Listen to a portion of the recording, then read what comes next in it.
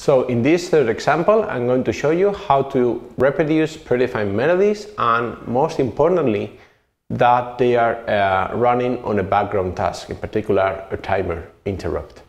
So uh, I have uploaded the code onto the board, so you will see me that I press the D2 button whenever I want to start the melody, and then I will press the D3 button so I will interrupt it. And then I, I can press it again and start it again and stop it again.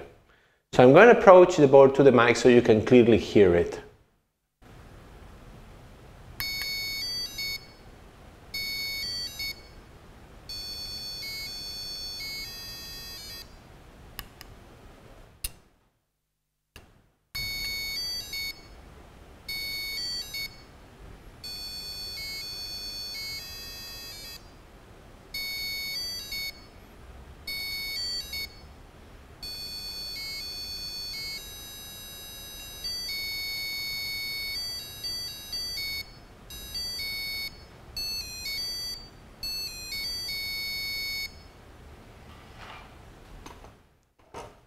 Okay, thank you very much.